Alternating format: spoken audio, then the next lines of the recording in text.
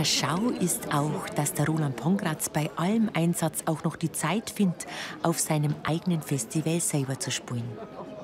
Das lässt sich der Vollblutmusikant nicht nehmen und klangt mit seiner Gruppe F-Tam-Tam gefühlvoll in die Saiten.